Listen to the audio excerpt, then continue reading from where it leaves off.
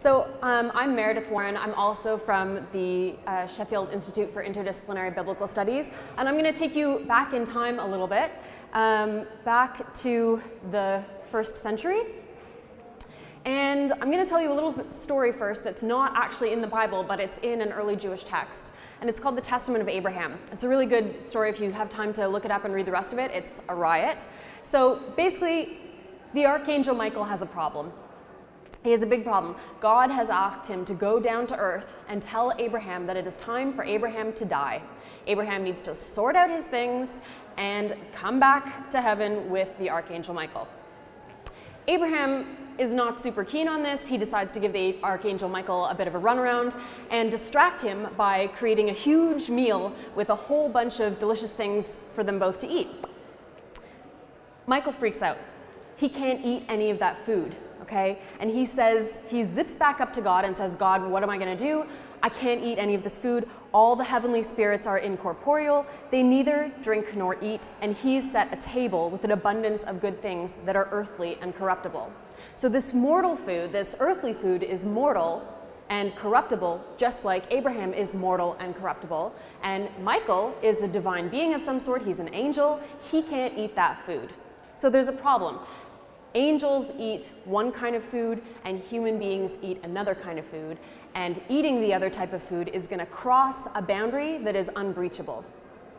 So God understands this problem and he says to Michael, Don't worry, I'm going to send you back down there and I'm going to give you a little spirit of eating. And that little spirit of eating is going to sit inside your mouth and it's going to eat all the things that you put in your mouth and it's just going to look like you're eating with Abraham and you won't offend him, it's going to be fine, but you won't actually be eating any of that corruptible mortal food. So the point of this is that if you're if you belong to the heavenly realm, you don't eat food from the earthly realm. If you belong to the earthly realm, you don't eat food from the heavenly realm. But sometimes it happens. And so the question is what happens and why does it happen? So the eating of heavenly food by human beings seems to happen quite a lot in texts of antiquity, and it's a literary trope that we actually still make use of today, and we'll talk about a couple of examples. But the issue is that um, so far, most scholars haven't connected the dots between these different examples in antiquity, and so we have been looking at these texts as individual texts rather than as part of a cultural understanding of how food transforms. So one of the most perplexing scenes is actually from the New Testament, from the book of Revelation. Has anyone read the book of Revelation? It's a weird one, okay? Um, but one of these scenes has um, John of Patmos, who is receiving all of these visions. Most of them are sort of doom and gloom, most of them are kind of violent. Um, but this one has John receiving a scroll from heaven, and instead of reading it, he eats it.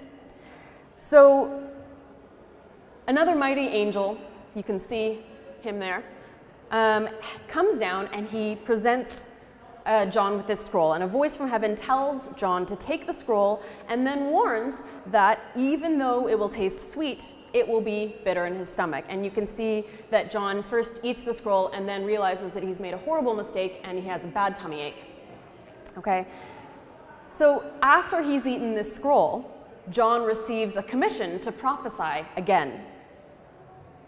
So this is, this is a very peculiar scene, and people don't usually eat scrolls, and we don't have any known rituals of people actually eating books in a ritual setting. So this doesn't really happen. So it's, it's only something that happens in stories. But if we look at other examples, we can see that there's a pattern. And that'll help us understand why John eats this scroll and why the scroll does what it does once he eats it. So this is the pattern that I've uncovered. So a heavenly being offers something heavenly for a mortal being to eat, which brings about one of three things, or three of three things, or two of three things. The transportation of the human being to another realm, the physical transformation of the human, and or the transmission of divine knowledge to the human being. So those are the three options that you get with, with this thing. And I'm calling it hierophagy. It's a made up um, pseudo-Greek word that means the eating of holy things, basically. So a really good way of getting our heads around what hierophagy is, is with our old familiar example from Alice in Wonderland. And I'm assuming most people are familiar with Alice and her visits to Wonderland. So Alice goes down to Wonderland, she falls down the rabbit hole, but she can't access Wonderland yet, right? She gets into this huge room, and at the end of the room, there's a tiny, tiny door, right? And she's far too big to get into the door. And the doorknob, who's rather rude, to be honest, um, prevents her from getting in there and says, You've got all these other options. What happens is a glass table appears, and on the table, there's a little bottle that's marked Drink Me. So she drinks, and she shrinks, which is fine. She's the right size to get in the door now, but it's locked. She realizes that there's a nice little box of cakes sitting right beside her. She eats one of the cakes. She can get back up to get the key that's on the top of the table. Unfortunately, she's now far too large to get through the door and begins to cry giant tears that fill the room up with water. Is everyone remembering this scene? It's very fresh in my memory. Along floats the little bottle with one little drop left in it. She drinks it, she shrinks again, and she's finally able to transform enough to get into Wonderland. So the food that Alice has eaten is not divine, but it's from another land. It's from Wonderland. And it's a realm that Alice can't access unless she eats the Eat Me cake and drinks the Drink Me bottle. She knows that Wonderland exists. She can see it through the keyhole, but she can't get to it without eating. And when she does, she's transformed. So this isn't identical to the pattern that we find in antiquity, but it's close enough that it can help shed light on what's going on in these ancient texts. So in my larger project, which is a, a long book about all of these different texts, um, I look at a whole bunch of other texts, but um, my main conclusions are that texts across religious um, groups, pagan, Jewish, and Christian from antiquity, all use this kind of trope. They all use hierophagy as a way that characters can cross boundaries from one realm to another. So usually it's from the earthly realm to the heavenly realm. So let's take a look again at Revelation. If this is our pattern, if we've got the transformation in abilities or appearances, location, and the transmission of knowledge, Revelation shows us two examples of that, right? By ingesting the scroll, John has new abilities. He's able to prophesy. He's also got divine knowledge, which is the contents of that prophecy, right? So when he's eating this food, like Alice, from another world to which he doesn't really belong, there are changes that happen to him. He is changed by the eating of this food.